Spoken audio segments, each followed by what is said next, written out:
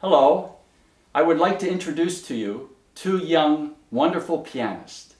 This is Ayano and her brother Ryota Watanabe.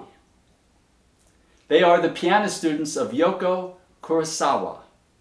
Recently, they gave a premiere performance of a newly composed piano duet entitled Red Captivation.